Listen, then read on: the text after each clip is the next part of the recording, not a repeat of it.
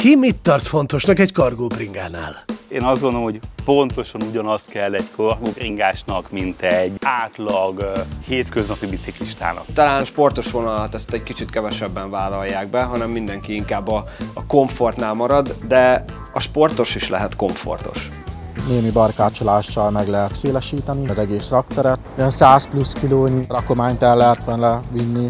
A kargó evolúció is olyan, mint a zene. A nagy slágerekben mindig ott van az elődök hatása, mégis valami új, eredeti születik. Egy rockstar. Egy csomó mindenen keresztül ment, hívták természetesen Elvisnek is, mert hát ráülsz és Elvis, de akkor az volt a szempont, hogy vajon a sportos vázgeometriát, ezt bele lehet-e integrálni ugyanúgy egy teherbiciklibe. Megláttam a kargóbicikliket, és az a nagyon hosszú kormányrúd volt, ami nekem nem tetszett vagy azon gondolkodom, hogy hogy lehetne ezt fejleszteni, ezt a mozgatási mechanizmust. A Bringás Brigantik kargonómia kurzusának második részében két eredeti, hazai fejlesztésű prototípus születését mutatjuk be.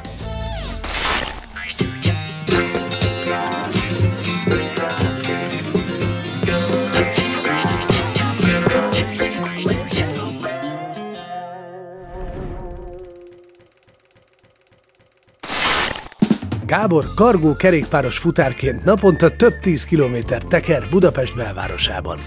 Nehezített terepen, néha a saját súlyánál is nagyobb rakományjal. Minden tud a kargózás hasznáról és káráról. A kanyarokban kell jobban odafigyelni, mivel ugye másabb a fordulókör, mint egy sima kerékpárnak.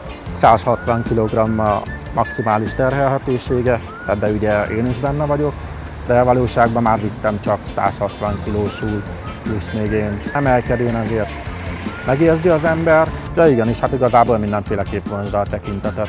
És sokan oda jönnek hozzám az utcán, hogy ez konkrétan mi, belvárosban végül is ez a jövő, ez a fenntartató jövő. De hogy kezdődik az, hogy valaki maga építsen kargót? Molnár András és Rájt Kálmán történetét a hegesztés élmény köti össze. Mindig is szét tudtam szedni, mindig is össze tudtam rakni egy biciklit, tehát az így nem volt gond. Eredeti szakmám az ötvös.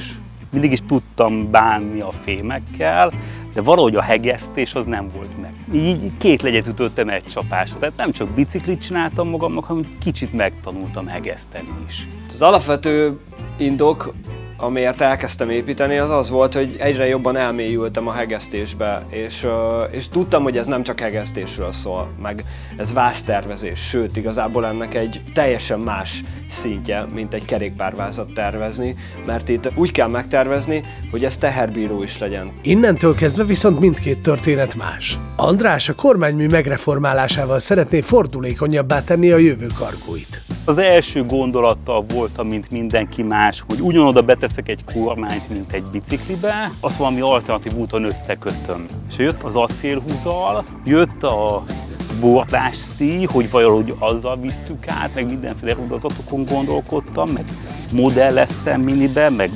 számítógépen. Aztán, hogy sehogy se volt jó egyik, és ez lett belőle, hogy de ha csinálnék két egymástól függetlenített, de összekötött, rudazattal összekötött kormány, akkor az valami, valami tényleg újszerű lehet akkor már éreztem, hogy na, na ezt érdemes meghegeszteni. Ebből csináljunk egy prototípust, mert hogy a csodába ilyet még nem láttam. És mindenki küzd a fordulósugárral, mindenki küzd a kerékmérettel, mindenki minden próbál újítani, de én azt tudom mondani, hogy egy kicsit konvencionálisan álltak hozzához, hogy, hogy a hagyományos biciklinek a háromszögét próbálták másolni. Ez meg, hogy mondjam, felrúgtam ezeket a szabályokat.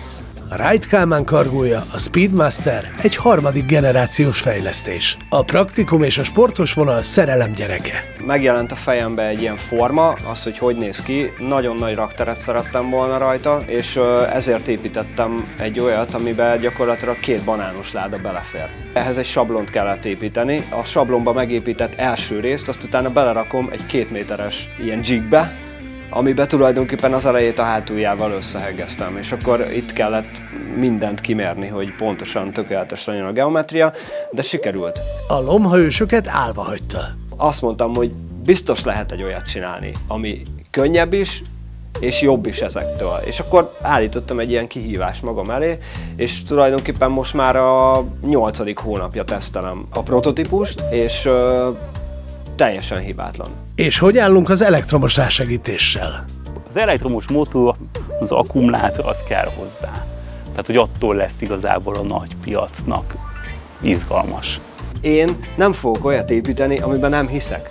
És érted, azért nem hiszek benne, mert számomra az elektromos hajtás az egy rásegítés, de hogyha nekem nincs szükségem rásegítésre, és érted, én olyan embereknek akarom eladni a biciklit, akik sporteszköznek tekintik a teherbringát is. Én nem is akarok találkozni olyan emberekkel, akik elektromos bringát akarnak venni. Hol lennének, érted, ezek a csodálatos hangszerek, érted, meg minden, hogyha az emberek ilyen izé, fakezűeknek gyártanának gitárokat.